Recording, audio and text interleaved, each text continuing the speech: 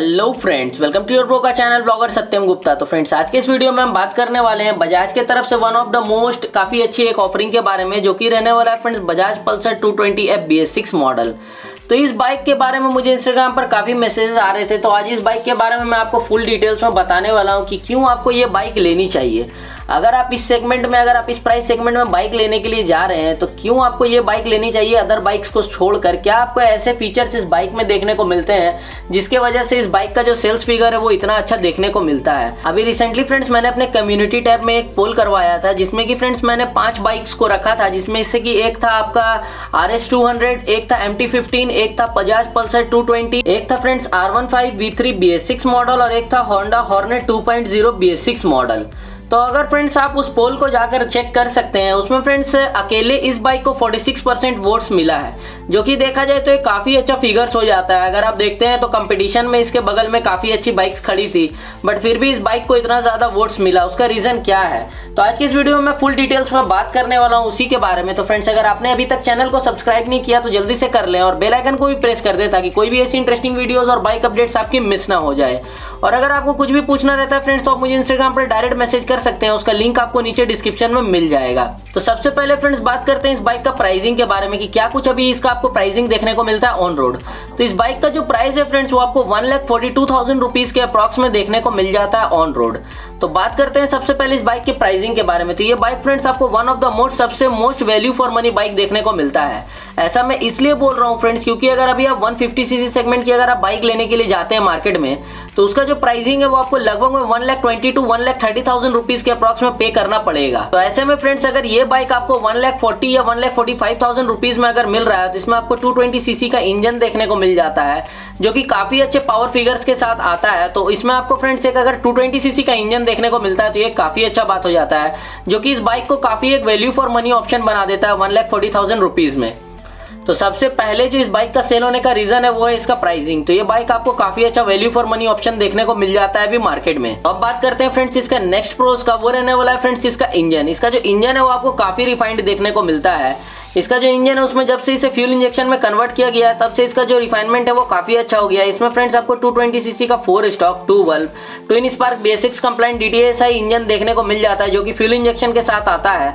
और इसका जो इंजन है फ्रेंड्स वो आपको ऑयल कूल्ड देखने को मिलता है, जो कि पावर प्रोड्यूस करता है ट्वेंटी पीएस का और टॉर्क प्रोड्यूस करता है एटीन एनएम का। तो अगर आप पावर और टॉर्क फिगर्स देखते हैं तो काफ़ी अच्छा आपको इसमें पावर और टॉर्क फिगर्स देखने को मिलता है।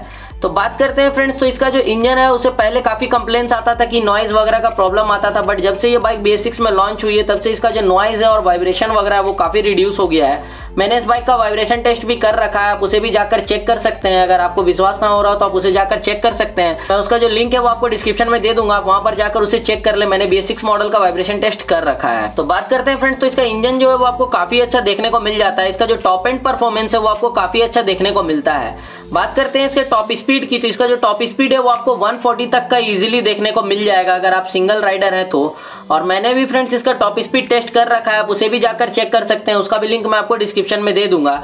तो इसका जो टॉप एंड परफॉर्मेंस है, वो काफ़ी अच्छा आपको देखने को मिलता है। इसलिए भी फ्रेंड्स इस बाइक का सेल होने का जो रीजन है, वो आपको काफ़ी अच्छा देखने को मिल जाता है, क्योंकि ये बाइक जो है, वो टॉप एंड काफ़ी अच्छा ऑफ़र करता है। अब बात करते हैं फ्रेंड्स इसका सीटिंग पोजिशन के बारे में। तो इसका जो सिटिंग पोस्टर है, वो भी आपको काफ़ी अपराइट देखने को मिलता है। मतलब काफ़ी ज़्यादा लोग जो है फ्रेंड्स वो एक कंफर्टेबल राइडिंग चाहते हैं। इतना पैसा अगर आप लगा रहे हैं और अगर आपको कंफर्टेबल राइडिंग ना मिले तो ऐसे में क्या फ़ायदा होता है? इस बाइक में फ्रेंड्स जो है, वो आपको काफ़ी कंफर्टेबल एक राइडिंग पोजीशन देखने को मिल जाता है, एक अपराइट पोजीशन मिलता है।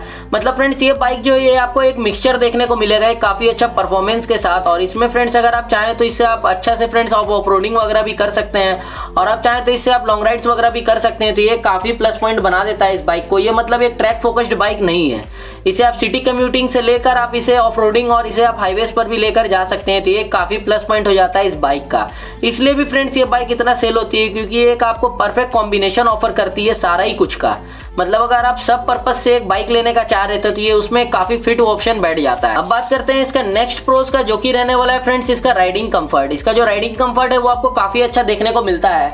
अगर आप लॉन्ग रूट्स वगैरह अगर करते हैं इवन फ्रेंड्स अगर आप 200 300 500 किलोमीटर तक की भी फ्रेंड्स अगर आप राइड्स करते हैं तो इसमें जो बैक पेन वगैरह है, वो आपको फील नहीं होगा। मतलब लॉन्ग राइड्स वगैरह में भी इसे काफ़ी ज़्यादा यूज़ किया जाता है और काफ़ी सारे मोटर ब्लॉगर्स भी हैं जो इस बाइक को यूज़ करते हैं। तो इस बाइक का जो कंफर्ट लेवल है, वो आपको काफ़ी अच्छा देखने को मिल जाता है। अब बात करते हैं फ्रेंड्स इसका जो नेक्स्ट प्रोज रहने वाला है, वो रहने वाला फ्रेंड्स इसकी ब्रेकिंग को लेकर। इसमें ब्रेकिंग में तो आपको सिंगल चैनल एबीएस देखने को मिलता है बट इसका जो डिस्क का साइज़ है, वो काफ़ी अच्छा कंपनी आपको इसमें ऑफ़र करती है। इसमें फ्रंट में आपको टू एटी mm का डिस्क ब्रेक मिल जाता है और रियर में आपको टू थर्टी mm का डिस्क ब्रेक देखने को मिलता है। तो इसका जो ब्रेक का बाइट है, वो काफ़ी अच्छा और ब्रेकिंग परफॉर्मेंस भी इस बाइक का काफ़ी अच्छा आपको देखने को मिल जाता है। तो ब्रेकिंग वाइज भी आपको प्रॉब्लम देखने को नहीं मिलेगा इस बाइक में।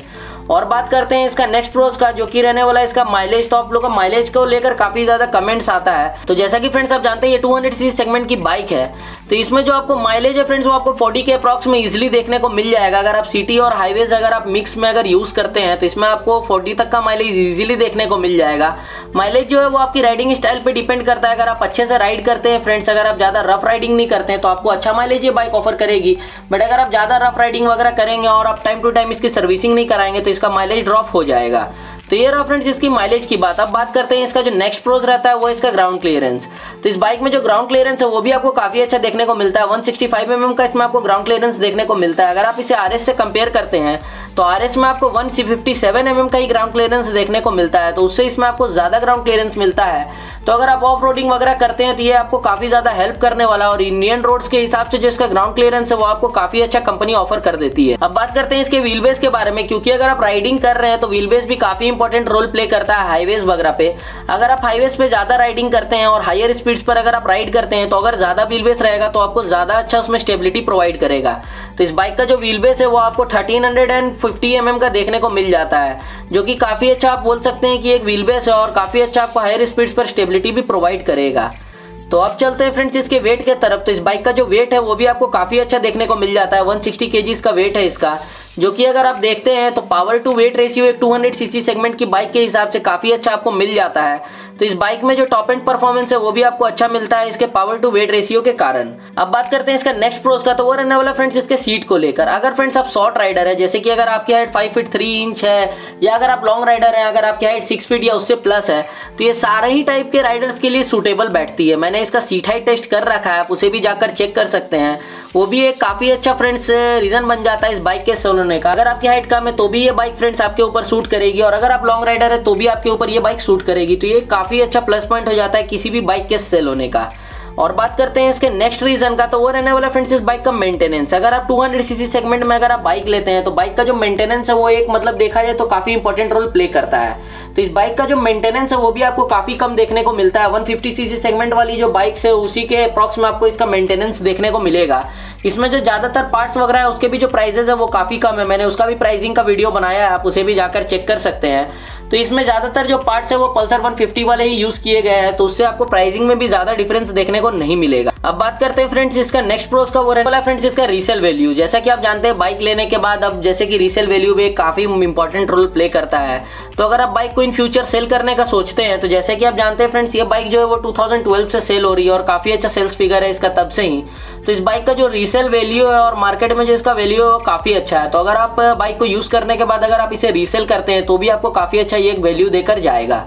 तो ये सब पॉइंट्स है फ्रेंड्स जो कि आपको इस बाइक को लेने में एक हेल्प करता है। तो अगर आप भी फ्रेंड्स अगर आपका बजट भी वन लाख फोर्टी या फिफ्टी थाउज़ेंड रुपीज़ के अप्रॉक्स में है तो आप इस बाइक को एक बार देख सकते हैं। ये काफ़ी अच्छा ऑफरिंग आपको देखने को मिलता है मार्केट में। तो फ्रेंड्स होप करता हूँ आपकी जितनी भी डाउट्स होंगी वो सब क्लियर हो गई हो। अगर फिर भी आपको कुछ पूछना हो तो आप मुझे इंस्टाग्राम पर डायरेक्ट मैसेज कर सकते हैं। उसका लिंक आपको नीचे डिस्क्रिप्शन में मिल जाएगा।